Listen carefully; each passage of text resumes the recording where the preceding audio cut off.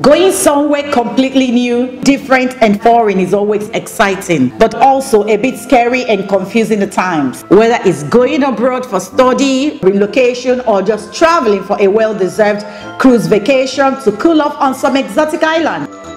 I think most of us need this at this particular time. Traveling abroad is a lot more than just packing your clothes and taking off to the airport. There are many important things that you need to prepare before you go, but do not worry. Just follow these simple tips to get your logistics correct in order to ensure smooth sailing.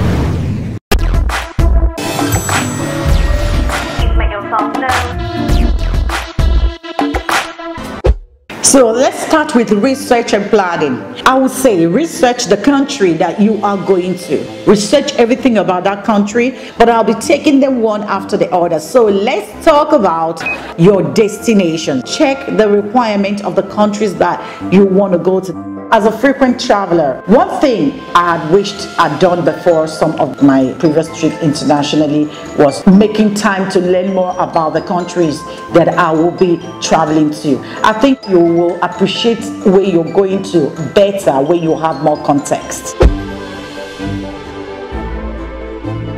Im Im Chin Weran. Im Chin Weran. That's the name of the word. Injim is uh, traditional Kore- Korean year name. So, as you're planning your entertainment for your trip, include some stuff that is educational that will teach you more about the people, the culture, and the country that you will be traveling to.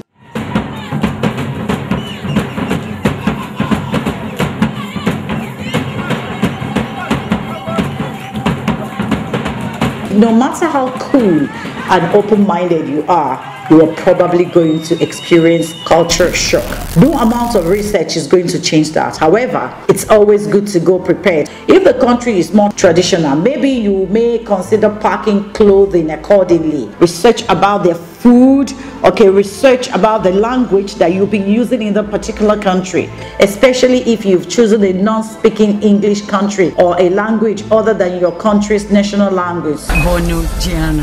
Buongiorno. Buongiorno. No, no. Buongiorno. So if you don't speak the local language, a helpful trick is to download Google Translate to your mobile phone. You might also want to consider learning a few key phrases before you head out. Hopefully you will pick up many more words. Have an idea about the weather that you will experience while you're there by reading up of the weather pattern and other information about the area before you leave home as well as finding out about the cost of living in that particular country. For example, how much will I be spending every month?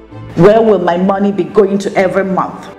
You have to find out. You may be surprised by what a major difference in lifestyle and amenities there is between one country and another. So these are the things you have to find out. How much does housing cost? How much does clothing cost? What about entertainment? How much will it cost me to transport from one place to the other if I'm looking for a job? And then what about medical expenses? How does it work there? What if I'm sick and I want to go to hospital? How do I go about doing that? These are all the things that you need to find out. So this is where being prepared for your trip comes into play. Take note of any potential surprises when setting up an itinerary so that they don't ruin your plans before they even start. When it comes to your accommodation, one question I always ask people is that if they are planning on staying with friends or family members during their visit abroad, and if that is the case, let them know beforehand. This isn't the right address. Find out if they have enough space for you, especially if they are also trying to make a living for themselves, as it's mostly the case. Will they have enough room to accommodate me? If not, what other plans do you have for your accommodation? Find out all about these things that I'm asking you to do. It may be wise to make an extra arrangement beforehand through Airbnb or a similar services, regardless your options. Be realistic about the expenses and take more money with you than you think you will use. As you know, emergencies and unexpected opportunities may arise. Therefore, you have to be prepared. So that brings us to documentation. What papers do you need? Before you start collecting those colorful stamps all over the world, you need somewhere to put them first. For starters, International travel requires an updated passport. You will need enough pages in your passport for visa stamps. While most countries only require a quarter page for their stamp, others require a half page or more. So if this is your first trip abroad, that shouldn't be an issue since you have a brand new passport with plenty of blank pages to play with. So the question now is, do you have an international passport? If your answer is yes, congratulations as it is the first step to planning your trip aside your already decided destination. Therefore, double check the expiration dates. Even with a valid passport, do not assume that your passport is valid up to the expiring date. Some countries require that your passport stay valid for at least six months after the end of your trip. In addition to this, some airlines won't let you board if you do not meet that requirement as well. And if you do not have a passport or it is due for renewal, then it is time for you to go get a new one. You need to apply in person at your local immigration office. Be prepared to provide proof of citizenship, an extra form of identity, and recent documents photos. And it is important to start your passport applications several months before your flight dates, especially if you need visas from foreign embassies. You can visit the immigration website for more information on how to renew or getting a new passport. The wisest thing to do now is checking the travel requirement for our destination. Once you have your passport sorted out, check to see if you need a visa. And if you require a visa, do not rush to start the visa process. And I'm going to tell you why.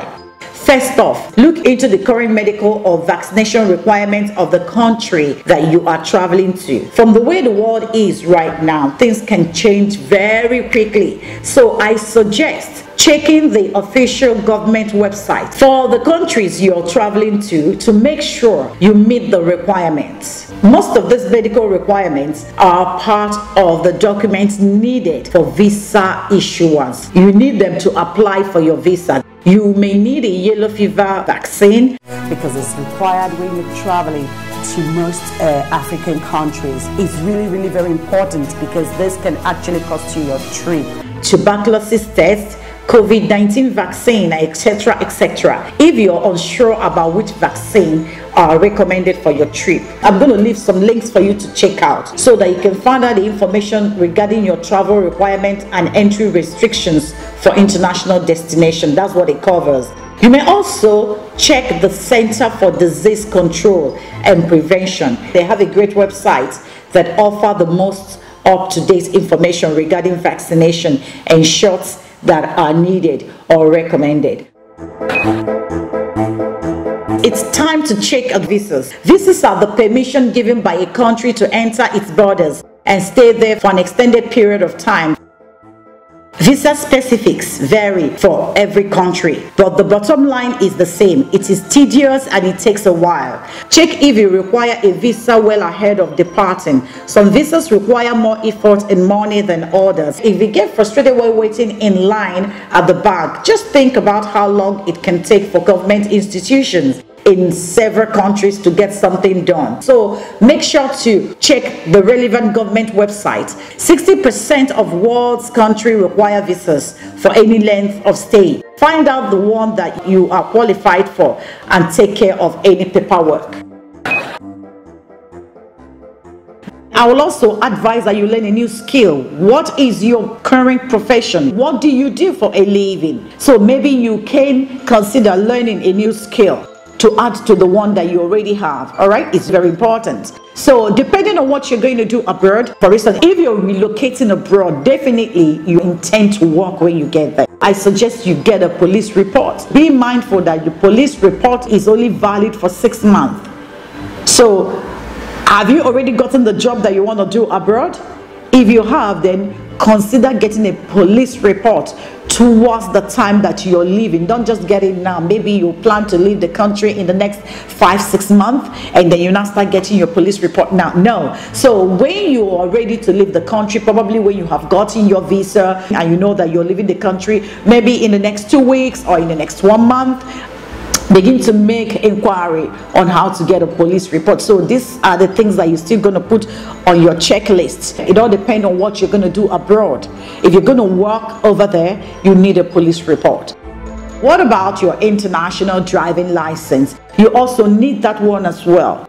You've got your visa now? Congratulations. Once again, for crossing this hurdle is not easy. People pray fast, even going as far as doing deliverance on their passport. In fact, you can't even begin to imagine how far people can go and can do to get a visa.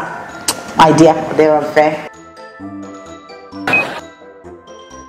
So let's find you a travel date. How far in advance should you start booking your trip? Unfortunately, this is hard to tell. No matter what, the best time to book is whenever you have the money, okay, and are ready to commit to your first international trip. And if you are under 26 years old, you can get flight discounts just for being young. Imagine, look at the flights uh, searching jeans like a StudentUniverse to nab a youth discount. Or if you are a student and need to book your flight soon, you can find discounted airfare on ScholarTrip. I'm going to leave a link to that so that you can have a youth discount. Make sure you click on round trip option for each country as many airlines will not board you on a one-way flight. That is if you are doing the booking yourself. But I recommend using a certified travel agent since it is your first time internationally. Though I travel frequently, I still make, even up until today, use of travel agents. They can be a good travel resource. Time to look into securing your trip. This one is very important. So let's talk about your insurance. I know insurance is probably the last thing you want to think about when you're going on a trip, but it is a good thing to have in the event that things don't go as planned. A lot of people, especially Nigerians, do not buy travel insurance. And travel insurance companies in Nigeria are not even helping matters they are not taking advantage of the huge opportunity available for them in the travel sector. So let's go put it to test. Do you buy travel insurance? No, I didn't. Do you buy travel insurance when you travel? Mm-hmm. Often a while, yes, I do. Honestly, I didn't check the name and all that. I don't know anything about it here in Nigeria. They don't advertise, they don't tell me anything about it. Maybe they need to educate people more about travel insurance. In some travelings, I buy travel insurance because it is necessary to buy, like in the European Union countries. It is mandatory for anybody going into European countries to buy travel insurance. Travel insurance can cover trip cancellations, medical emergencies, as well as lost luggage. I advise people that they shouldn't leave home without it. Find out how you can insure your trips. All right, so that we will not have a story that touches the heart later on. So these are the things you should research. Now it's time to go shopping. So make a list. Write down your needs. You alone know what you will be needing. I'm talking of essentials. So make a list of what you think are necessary for your trip. There are many accessories on the market that you know can make travel easier, safer, and more comfortable. And did I forget that if you're traveling, just spend time with your loved ones or your friends. You know, Nigerians travel with a whole lot of foodstuffs. Find out the kind of things you're supposed to take abroad. There's some food that are prohibited that you cannot take abroad when you're traveling. So visit the government website to know do's and don'ts. What should I bring? Will they allow me to carry a fish into that country? And if yes, what's the quantity? What about dry meats? What about fresh meat? What about crayfish? What about uh, fresh, uh, you know, vegetables? Am I allowed to bring them into the countries that I'm going to? You have to make sure that you find out what it is that you need and you do not need. So with these tips, you'll be able to hit the ground running. The bottom line, living abroad is one of the most amazing experiences a person can have. Be prepared for your time abroad can make all the difference in settling in quickly to be able to experience and enjoy life in a new country. No matter where you go, there will be so many things to remember. That is why you should create a list that will help you track everything you want to bring with you. This checklist can come in handy and you won't forget a thing. I hope you enjoy this list of mine. I wish you a wonderful journey as you prepare for your first